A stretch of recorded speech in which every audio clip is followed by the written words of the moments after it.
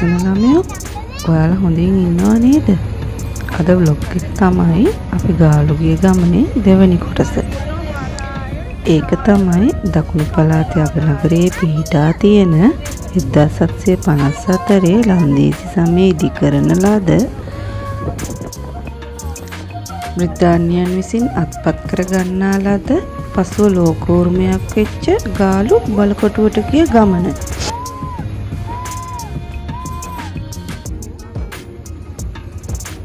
ගාලු කොටුවට ඇතුල් වෙන්න පුළුවන් ප්‍රධාන මාර්ග දෙකක් තියෙනවා. එයින් එක මාර්ගයක් තමයි ගාල්ල ක්‍රිකට් ක්‍රීඩාංගණයේ ඉදිරි පිටින් තියෙන මාර්ගය. අනිත් මාර්ගය තමයි මුහුදු මාර්ගය ළඟින් තියෙන පාර. ඉතින් අපි අද යන්නේ මුහුදු මාර්ගය තියෙන පාරේ. මේ පාරෙන් යනකොට අපට මුලින්ම හම්බෙනවා උසාවි සංකීර්ණය. අද ඉදිරි දවසක් නිසා උසාවි සංකීර්ණ ඉදිරිපිට තියෙන පොඩි ඉඩ කොටසේ පොඩියට හට් ගහලා විසිතුරු පැරණි භාණ්ඩ නිමැදුම් වගේ දේවල් සංචාරකයන් ඉලක්ක කරලා විකුණන්න තියෙනවා. මේ තියෙන්නේ අපි කලින් ගියපු වෙලාවක ගත්ත ෆොටෝස්.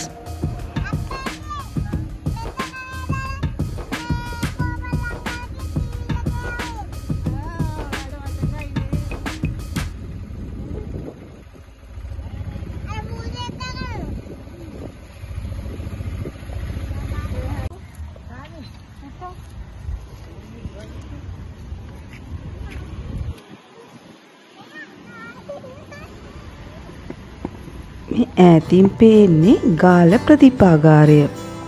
ඒකේ උස මීටර විසිහයා මාරක් වෙනවා. එද්දා සටසිය හතුරිස්සතේ ඉදි කරලා තියෙන පස්සේ ගින්නකට හසු වෙලා එදදාස් නම්සේ තිස් අතරදි ආයත් පාරක් නැවත ප්‍රතිසංස්කරණය කරලා යුනිස්කෝ සංවිධානය මගින් එදදාස් නම්සේ අසුවටේදී බාල ප්‍රදීපාකාරය ලෝකූර්මයක් ලෙස නම් කරලා තියෙනවා.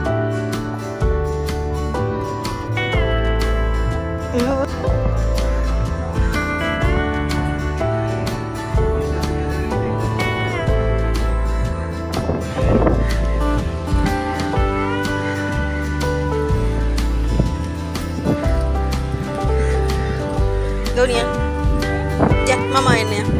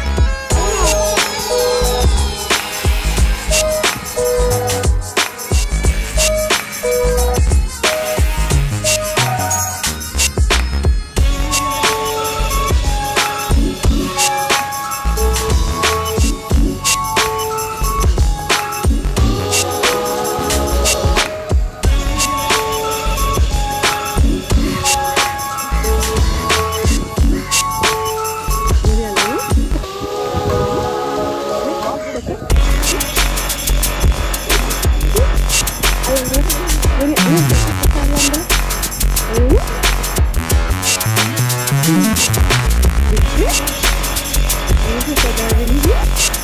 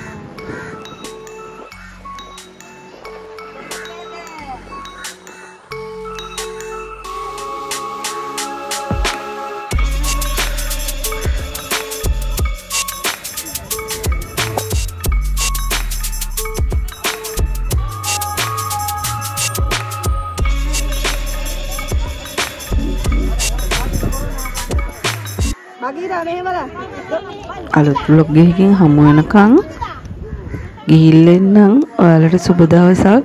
හැමෝටම ආදරෙයි.